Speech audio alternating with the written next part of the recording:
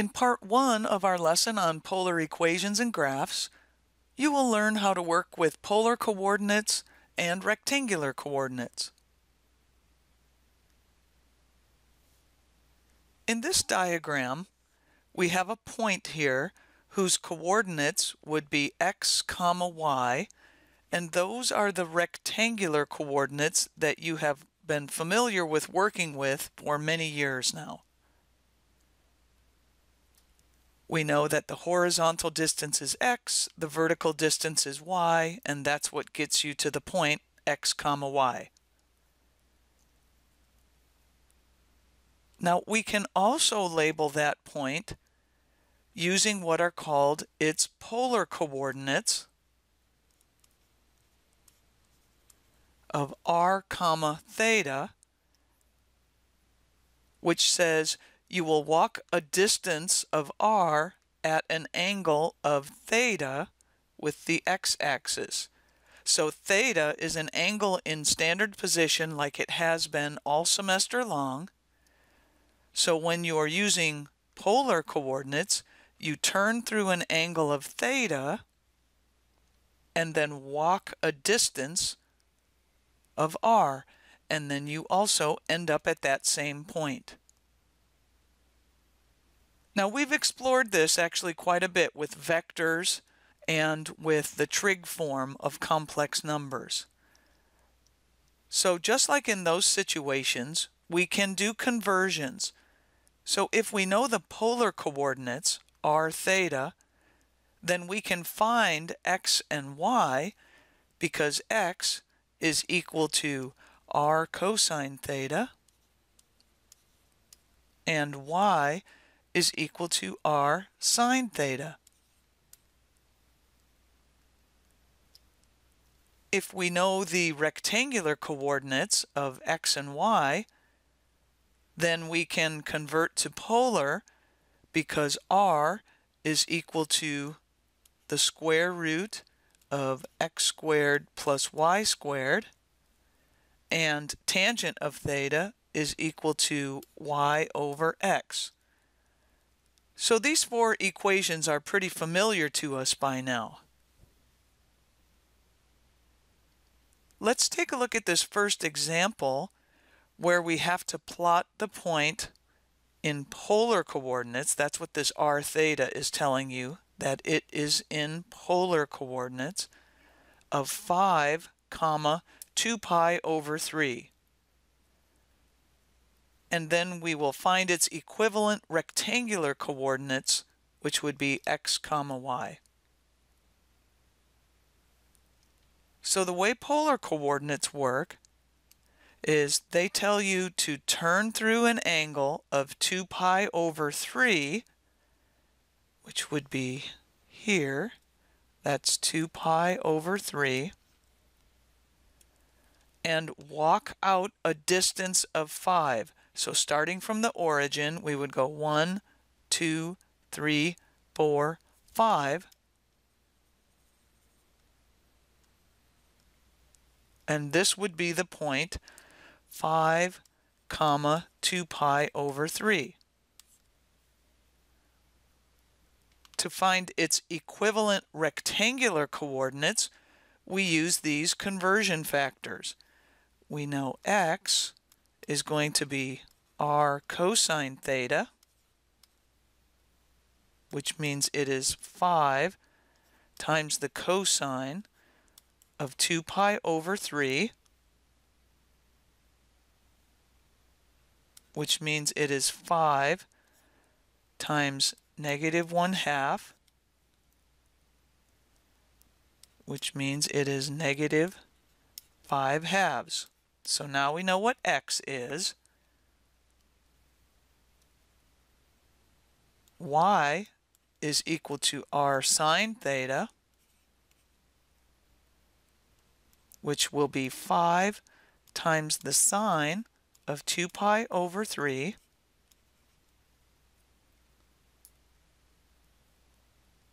which is equal to 5 times radical 3 over 2, So our y value is equal to 5 radical 3 over 2. So that means the equivalent rectangular coordinates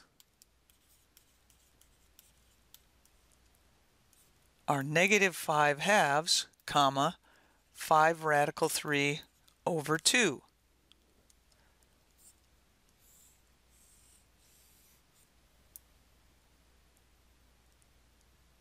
And if we look at our picture, let's make sure that makes sense to you.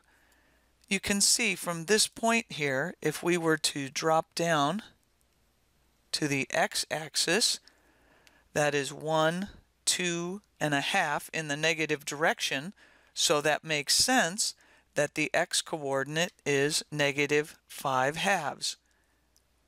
It might not be as easy to see, but the y-coordinate then is 5 radical 3 over 2. Maybe I'll mark it over here in the vertical direction. There's a little more room over here.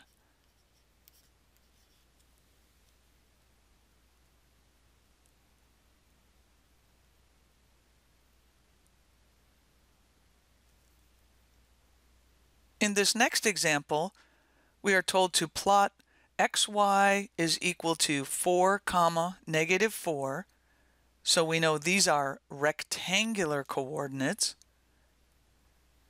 and find its equivalent polar coordinates which would be r comma theta. So our x value is 4, our y value is negative 4, So there's the point. And to find its equivalent polar coordinates, we need to find r and theta.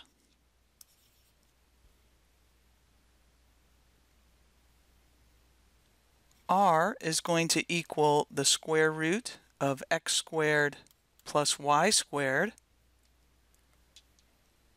which is the square root of 4 squared plus negative 4 squared, which is the square root of 32. We know that 32 has a perfect square of 16 and an irreducible part of 2. So we get that r is equal to 4 radical 2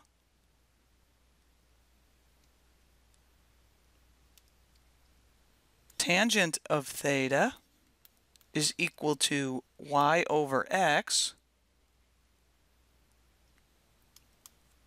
which is negative 4 divided by 4, which is negative 1.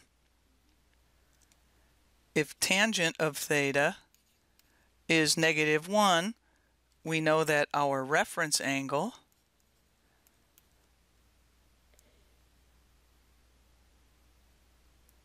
has to be pi over 4. Since we are in quadrant 4, we know that means that theta will be 7 pi over 4.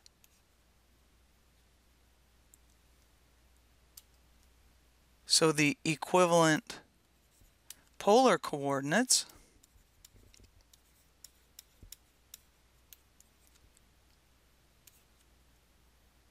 are 4 radical 2, comma, 7 pi over 4.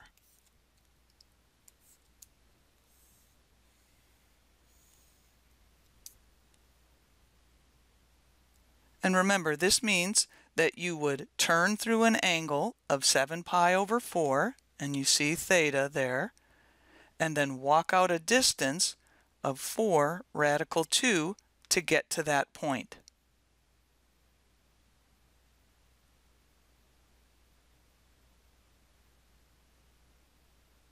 In this example, we are being asked to give two other possible polar coordinates for the polar point 4 radical 2, 7 pi over 4. So that's that point we just found. And we have that in the picture here, right here. Our angle is 7 pi over 4, and the radius, the distance, is 4 radical 2, and that names this point right here.